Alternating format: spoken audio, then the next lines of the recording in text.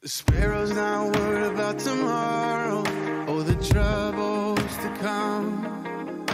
The lily's not thinking about the seasons, the drought or the flood. The tree that's planted by the water isn't fazed by the fire. So why should I be? Cause you take good care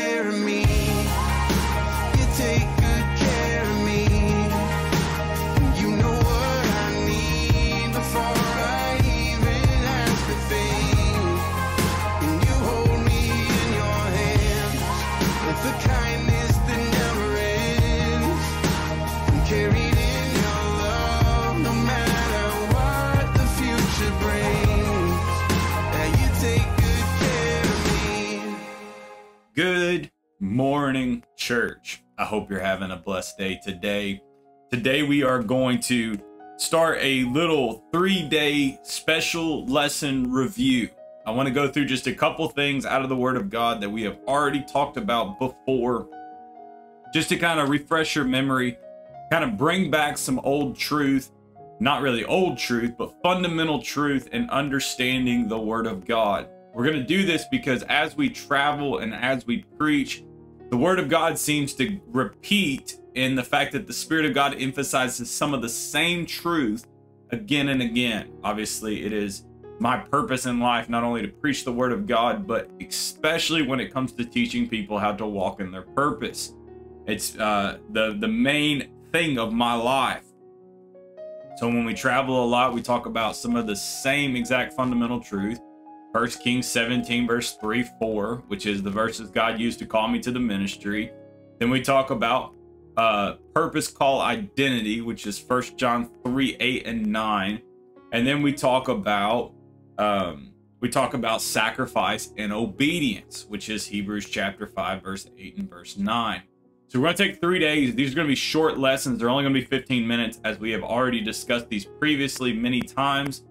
I just want to take just a couple days to just briefly, quickly go back through this. I think it's important every once in a while to just refresh our memory and remind us of these truths. Because not only are they important and vital, but they are foundational to what we believe in the Word of God. So we're going to be looking first at 1 Kings 17, and then we're going to talk about purpose call identity, and then we are going to talk about uh, sacrifice and obedience. So we're going to talk about provision and obedience, purpose call identity, and then we're going to talk about sacrifice and obedience. And these three fundamental truths are the foundation of what we do, not only when we were in America, but why we do what we are do in Brazil. The fundamental promises and truths of the Word of God. So I'm going to pray, and then we're just going to jump right into this. The next three days, or today and the next two days, are just going to be reviews. And then starting next week, we will go back into our series on end time prophecy, picking up with Isaiah chapter 34. So, Father, I thank you. I pray you bless everybody under the sound of my voice. Let the word become wisdom, revelation, and the knowledge of your Son.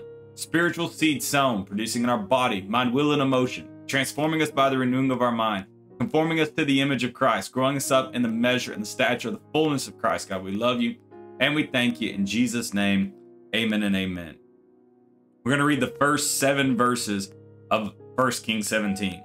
And Elijah the Tishbite, who was of the inhabitants of Gilead, said unto Ahab, As the Lord God of Israel liveth, before whom I stand, there shall not be dew nor rain these years, but according to my word. And the word of the Lord came unto him, saying, Get thee hence, and turn thee eastward, and hide thyself by the brook Cherith that is before Jordan. And it shall be that thou shalt drink of the brook, and I have commanded the ravens to feed thee there. So he went and did according unto the word of the Lord, for he went and dwelt by the brook Cherith that is before Jordan. And the ravens brought him bread and flesh in the morning, and bread and flesh in the evening, and he drank the brook. And it came to pass after a while that the brook dried up because there had been no rain in the land. This is by far the most read and preached section out of the Word of God in my personal life. I've taught this more times than I have taught anything else.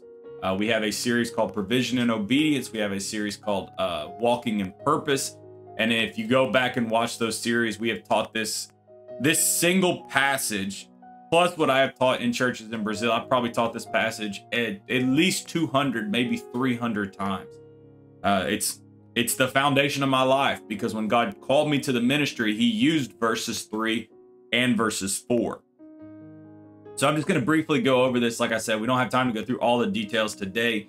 If you would like more information, you can go and look at our other series, Provision and Obedience, Walking in Purpose, or just search First Kings 17 on our uh, on our website. It'll pull up this information, or you can take our Divine Purpose curriculum where we go through this passage verse by verse.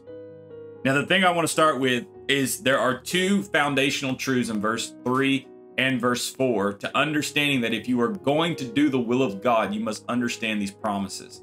Not just understand these promises, but they are truth in the Word of God. Not only do you understand the promise, you do under, understand the truth, but it's these two truths specifically that'll keep you from walking away from God. When people backslide, when people draw back from God, it is almost exclusively based in these two facts. And it's these two things that if I would have known, I would have not walked away from God.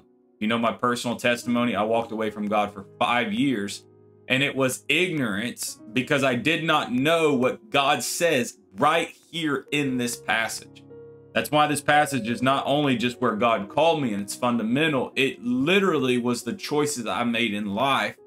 And now that I know these two truths, it's the reason why I do what I do.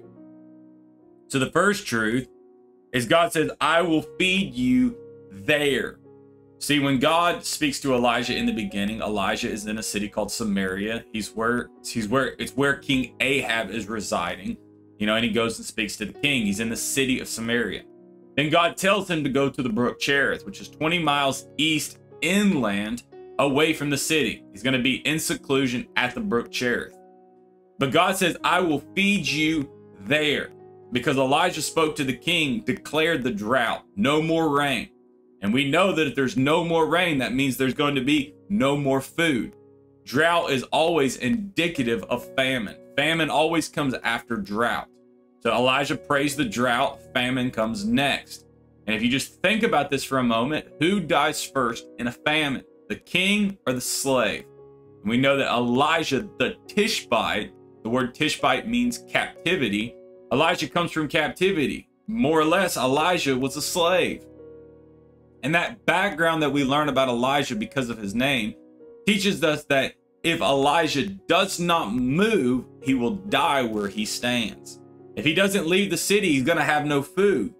And the first truth we learn is that the provision of God is where God has told you to be. It's not here, it's there. If you stay where you're at, you die where you stand. That's truth number one. It's a very important truth that you must walk in obedience. You must go when God says go, and you must go where God says to go. If you don't go where God tells you, you're not going to receive the thing that God has already spoken, promised, and given. God's already given it. That's truth number two. That it says in verse four, I have commanded the ravens to feed thee there. It's there, not here, but there. Also, God says, I have commanded, past tense, already done. See, when God speaks to Elijah in 1 Kings 17, he says, I told the ravens before I told you. See, before God ever speaks to you in life and says, go somewhere, do something, step out in faith, God already spoke the provision.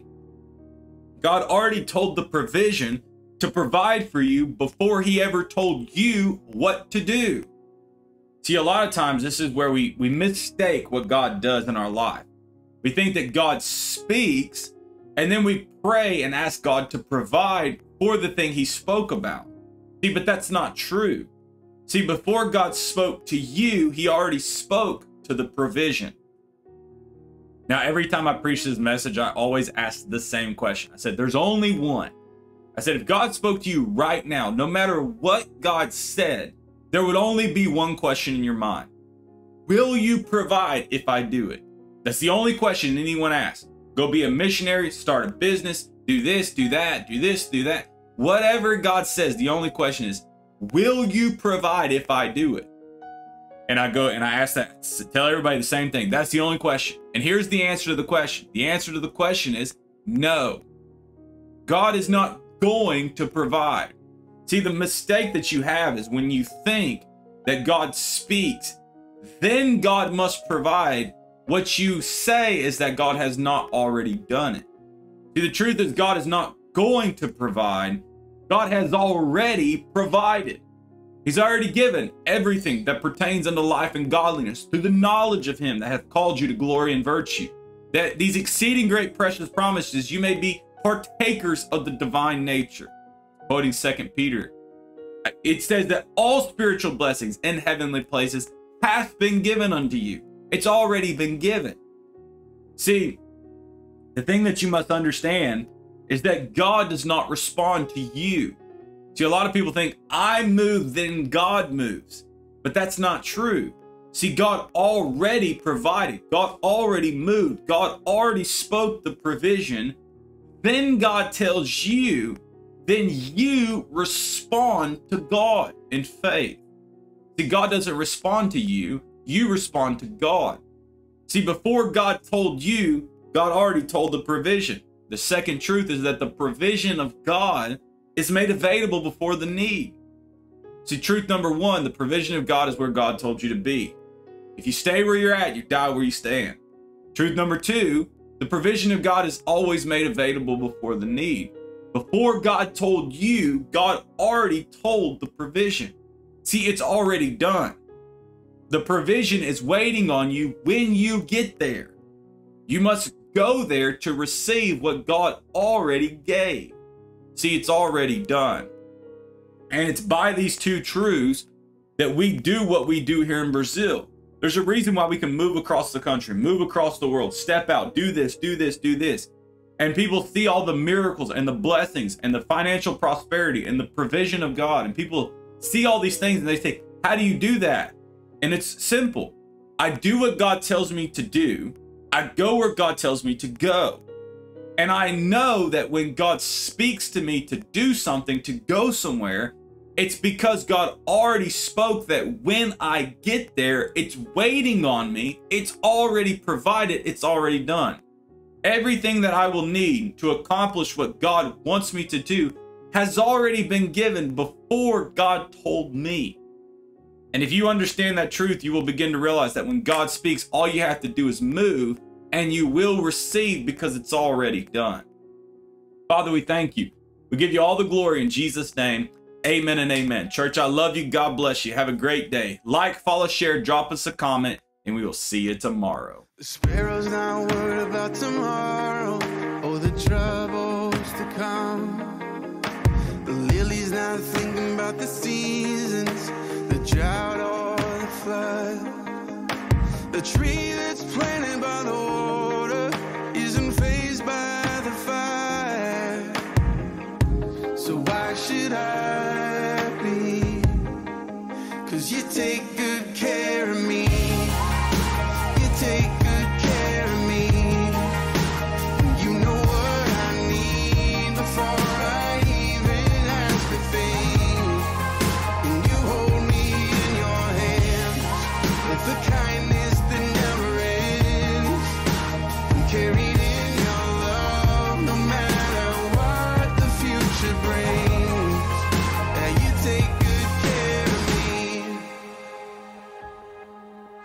The sun's not worried about the winter.